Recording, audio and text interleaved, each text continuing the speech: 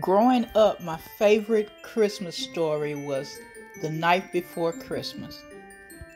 I read the books, I watched the shows, I even recited by heart the story to my four brothers.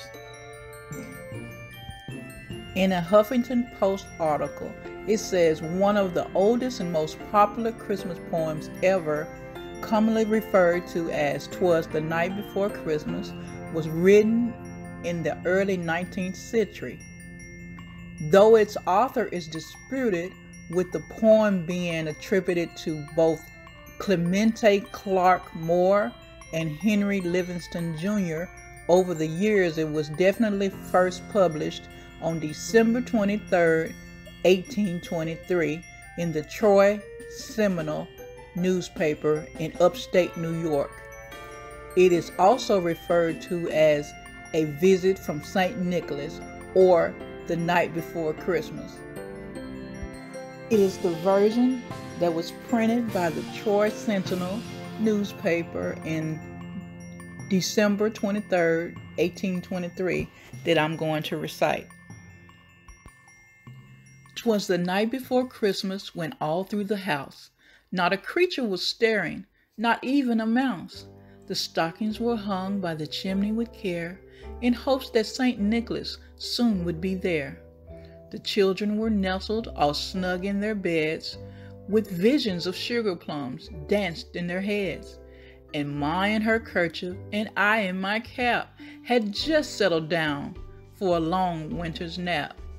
When out on the lawn there rose such a clatter, I sprang from my bed to see what was the matter.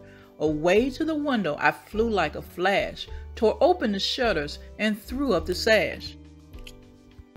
The moon on the breast of the new fallen snow gave a luster of midday to objects below, when what to my wondering eyes should appear but a miniature sleigh and eight tiny reindeer, with a little old driver so lively and quick I knew in a moment it must be St. Nick.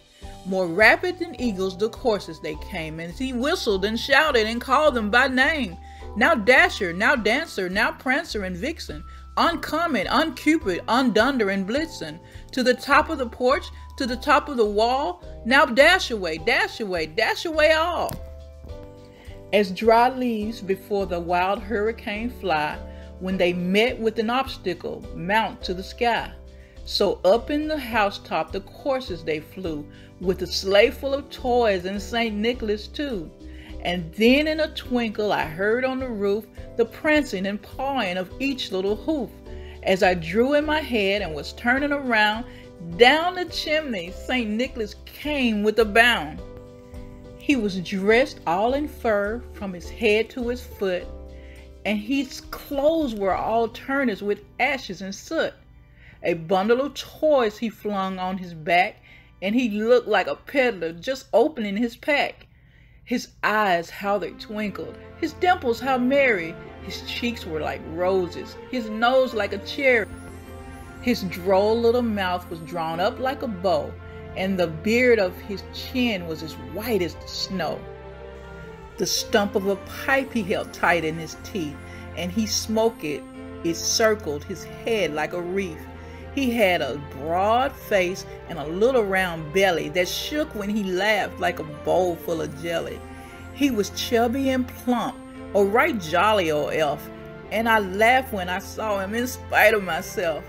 A wink of his eye and a twist of his head soon gave me to know I had nothing to dread. He spoke not a word, but went straight to his work and filled all the stockings, then turned with a jerk and laying a finger aside his nose and giving a nod up the chimney, he rose. He sprang to his sleigh, to his team gave a whistle, and away they all flew like the down of a thistle. But I heard him exclaim as he drove out of sight, Happy Christmas to all, and to all a good night. I so enjoy reciting this poem. The year 2020 has had its challenges, but for me, there are some good times too.